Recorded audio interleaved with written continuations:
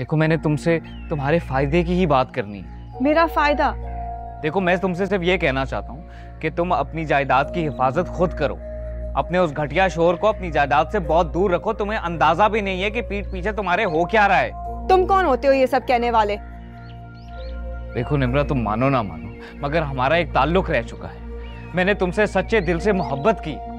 क्या पता वो तुम्हारे और फारिस के दरमियान में गलत फहमी डालना चाह रहा हो।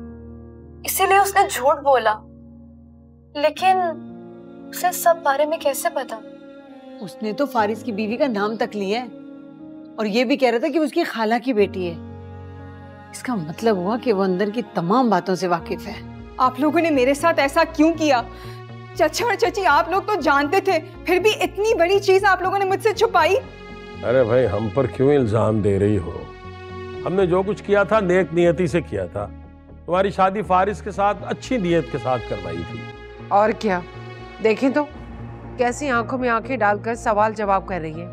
अरे, हमने तो तर्स खाया था, बेसहारा मस्किन पर, और ये हमारे मुँह को आ रही है।